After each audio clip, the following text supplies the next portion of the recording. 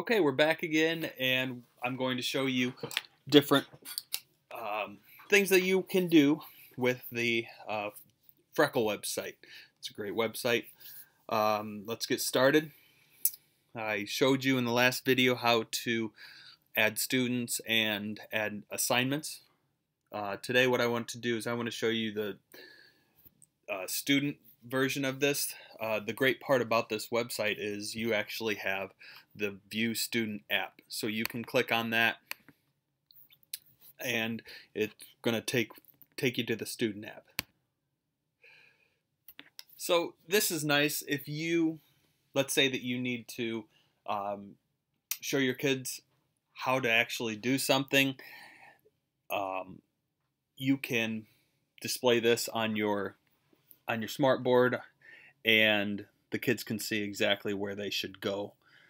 Um, so you can see it's pretty basic, okay? If I had something assigned to me or that I assigned, the kids would go from my teacher, they'd click there. There's no assignments for me here. Um, and then really you can do language arts or math. So if we want to do math, we can do number facts. You can do number facts, you can do math practice. Click on there. All right, we have uh, different levels. You can see these are locked, and we have to add.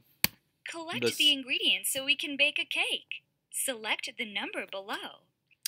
Okay, so now you can see. Now you try. 1 plus 1 equals. You can see. You can um, click on it. The correct answer is 1 plus 1 equals 2. 0 plus 1 equals. Now you have you have to click on the numbers here. You can't type them in. Okay, and Correct. it The reinforces. correct answer is 0 plus 1 equals 1. 5 plus 0 equals. You can see here that they there's two there are we did two out of ten questions. There's a little progress bar. Um, the kids they can earn different coins, and then they can buy a different avatar. They can buy different backgrounds and um, all sorts of different things with the coins that they earn. Now it, you're not going to earn coins if you unless you finish it. So if I click home, I didn't earn any coins. So that's one thing that you might want to tell tell the kids that you have to complete your assignment in order to get those coins. Um, that'll just help them stay on task. If we go to the language arts, there's all sorts of different ones that they can do. Let's say we want to read articles. We want a nonfiction article. Okay, I want to do.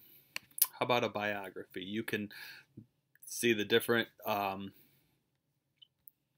different people and you can click on one and you start reading it.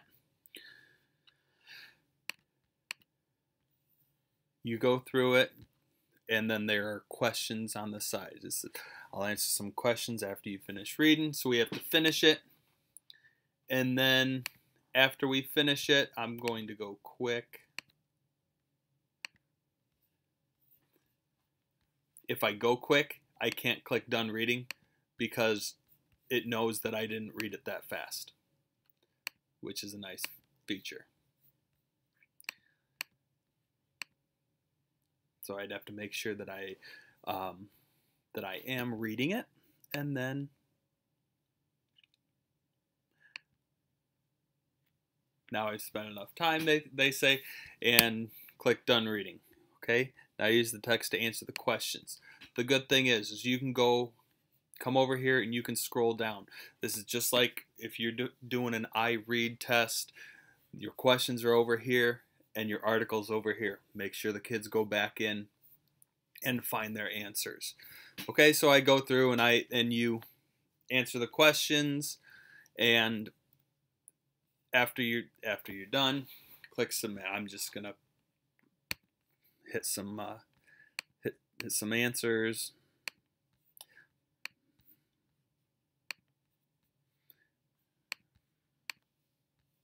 So you can see, oh, I didn't get that one right. I have to try again. Three coins lost. You can see the one that I got right, I earned 10 coins. If I didn't get it right, um, no coins earned. All right. So you can see that the incentive if the kids if they get the answers correct, they get more coins. If they don't get the answers correct, they won't earn coins. All right, I'll be back with more videos. Hopefully this helps.